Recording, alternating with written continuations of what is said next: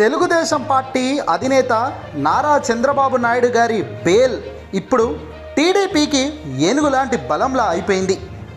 బేల్పై మా బాబు ఎప్పుడు బయటకు వస్తాడో చూడాలి అంటూ నేతలంతా ఒత్తులు వేసుకొని మరి చూస్తున్నారు ఎదురుగా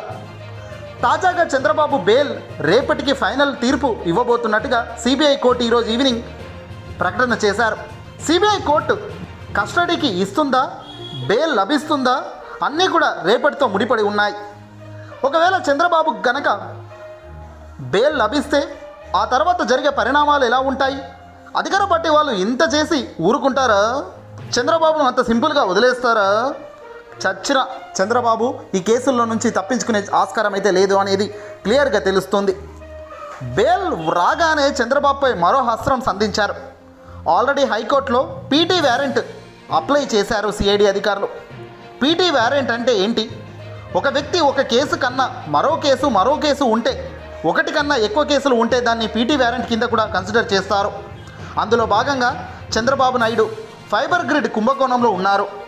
ఇన్నర్ రోడ్ అలైన్మెంట్లో కుంభకోణంలో ఉన్నారు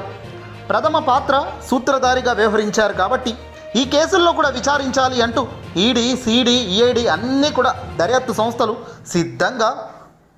బాణాలు రెడీగా చేసుకొని పెట్టుకొని ఉన్నారు చంద్రబాబుకు ఇక్కడ బెయిల్ వచ్చినా కేంద్ర దర్యాప్తు సంస్థల నుంచి అడ్డుకట్ట పడవచ్చు బెయిల్ రాగానే మరోసారి చంద్రబాబును టక్కున అరెస్ట్ చేయవచ్చు ఇక్కడే అసలు సిసలైన ట్విస్ట్ దాగి ఉంది చంద్రబాబును సుమారుగా మూడు నుంచి ఆరు నెలలు జైల్లోనే ఉంచాలి అన్న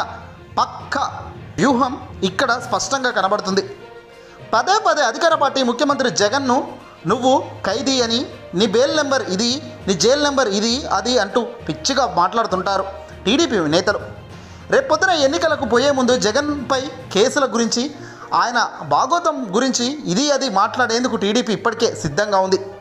దీని మూలంగా చాలా వరకు టీడీపీ నేతలు నోరెత్తే పరిస్థితి కనబడదు గట్టిగా నోరెత్తాలంటే చంద్రబాబు ఖైదీ నెంబర్ ఏడు ఆరు తొమ్మిది ఒకటి అంటూ అధికార పార్టీ వాళ్ళు కూడా రివర్స్ అటాక్ ఇస్తారు